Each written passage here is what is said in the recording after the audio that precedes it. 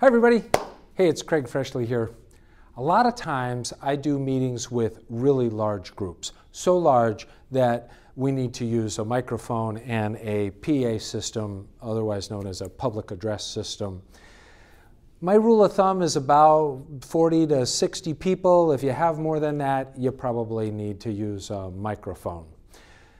When a microphone is called for, I like to use wireless handheld microphones because whenever I'm talking with a group, it's going to be interactive. I'm not just stationary at the front. I am calling on people and I want to hear from other people and everybody who speaks in such a meeting needs to be using a microphone. My preferred setup is a lavalier mic for me and two wireless handheld mics for me that I maintain control of. I like to get out and run around the audience and hold microphones for people. Sometimes I will let a person hold a microphone by themselves. I've still got one to go take to somebody else. If I let that person hold the microphone, while they're talking, I circle back around and get this one. Sometimes I hold a microphone for somebody, and whenever I do that, I kneel down and get myself out of the way. Using a microphone has an interesting effect on a meeting. It acts as a talking stick. You may be familiar with the Native American tradition of passing a talking stick in a group, and the rule is that you can only talk if you're holding the stick.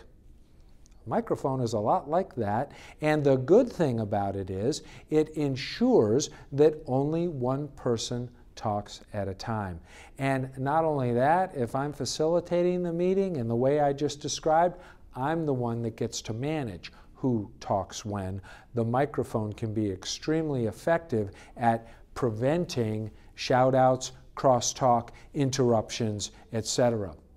On the other hand, sometimes we want that spontaneity. Uh, we like it when people can quickly comment on each other's comments. And if you have a strict rule that everyone who talks needs to talk into a microphone, you lose that.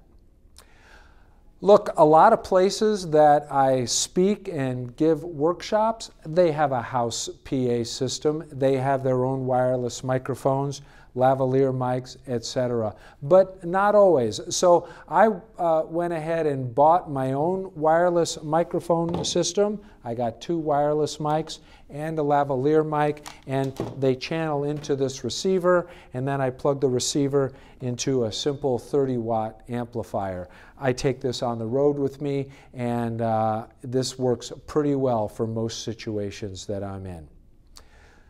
Look, here's just a few tips about how to use microphones in a meeting where you want audience interaction. I hope this helps you help your group make good decisions.